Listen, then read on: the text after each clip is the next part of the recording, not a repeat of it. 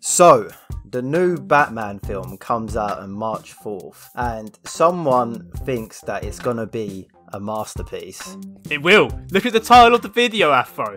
The Batman will be a masterpiece. We've already we don't even need to discuss it. This film is going to be absolutely awesome. You know, you know that's some that's some that's a really strong take.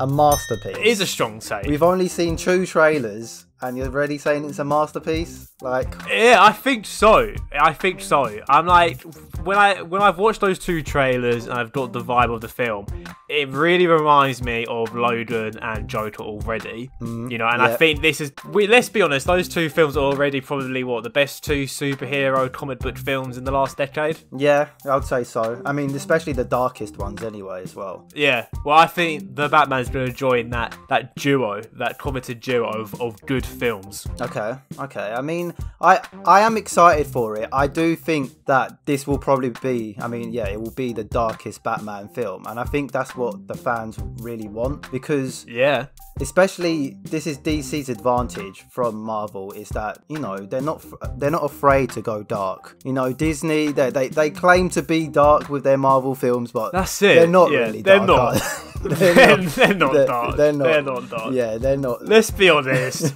like like you said, I would describe Marvel films as like Disney McDonald's. Oh, you wow. know what you're gonna get. They're not gonna be that edgy. They might say, "Oh, we're gonna go really edgy this one," and it's not. Like their idea of edgy is like throwing Spider-Man out of the window with the Green Goblin fight. That's that's their idea of edginess. You know that, that little fight scene that they had.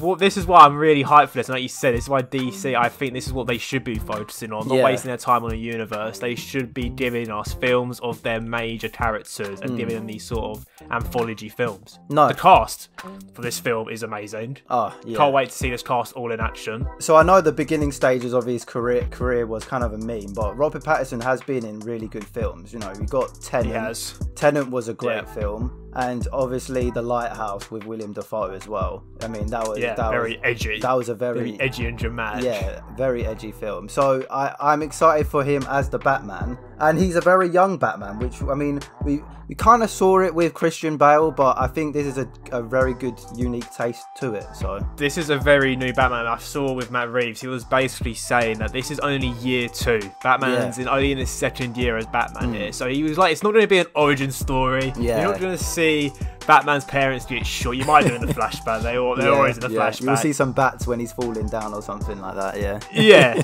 but the film itself is meant to be focusing on the origins of Batman really discovering just how corrupt Gotham is. Yeah. He's got an uneasy relationship with the GD. Is it G? The GDPD? No, the GPDD. I don't know. Something G. That acronym.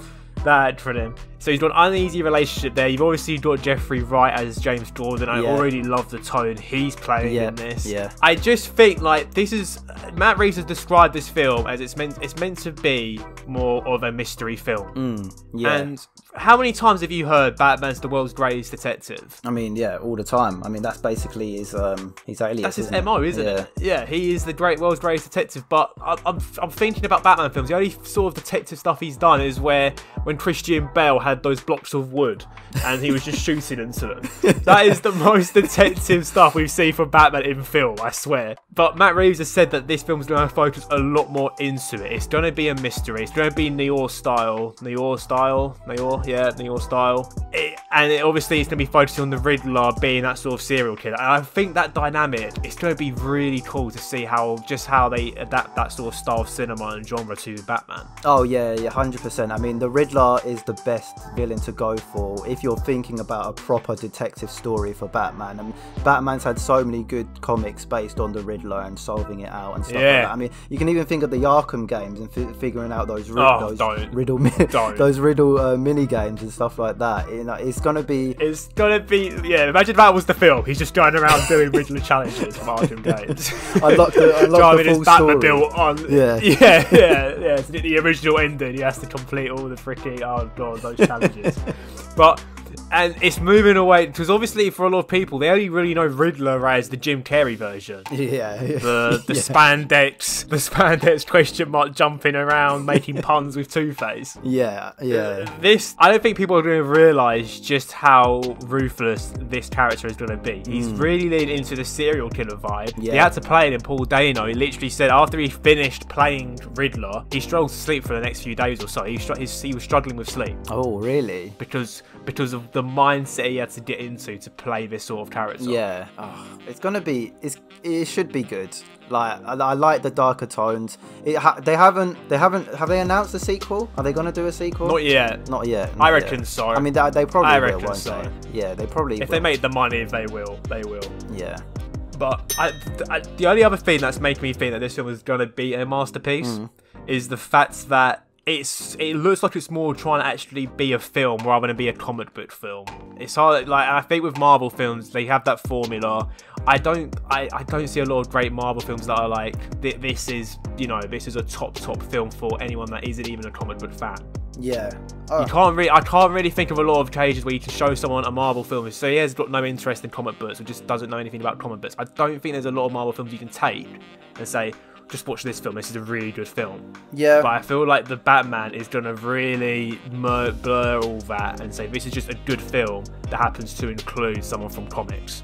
No, yeah, you're right. I think the problem with the Marvel films is that um, you kind of have to build that relationship from previous films, but because Hmm. this is kind of treated as its own solo thing away from the uh, expanded universe of DC, you, you Yeah. they all have to have good roles. I mean, which makes sense Yeah. that they've chose really good actors for this for this film. Oh, You know? yeah, the car. I really, I really can't wait to see how Colin Farrell plays the Penguin. Yeah.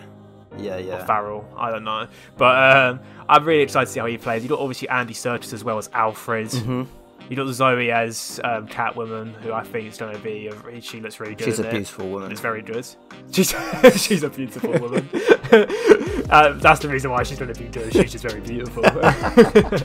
um, but I, uh, I I genuinely think that we've obviously seen Logan get nominated for best uh, adapted screenplay. Yeah. I think it was one of the first live action superhero films to be nominated for a screenwriter award there.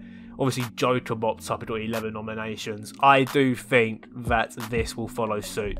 This will follow suit. It'll be a better. If people are raving about Spider Man, this is going to blow Spider Man out of the park. And it's going to be remembered longer than the Spider Man film. That's that's a big claim. That's a very big claim. Don't care. Don't care. I saw I saw Spider-Man fans getting annoyed that Spider-Man was they were trying to see they they, they thought Spider-Man No Way Home should have been nominated for Best Picture. I mean, no, that's a bit too far. That's that's a bit too far. Ridiculous. Just take your site, just take your SFX nomination and be happy with that. And let's be honest, it wasn't even a great. I don't think the best was great anyway. Anyway, no sidetrack to that freaking film. I think that the Batman, I reckon it will be considered a much better film. This is our prediction. If I'm wrong, come back to this video and ridicule me in the comments. But I I think people will come back to this video after and say senseless, you goddamn genius. I mean, I, I, I hope you're I hope you're right, mate. This is a lot, a masterpiece. Just remember, a A masterpiece. masterpiece. Yeah. I'll put I'll put my name on it so I don't renegade from it. I am senseless, and the Batman will be a masterpiece. It's not a game, it's a rich thing.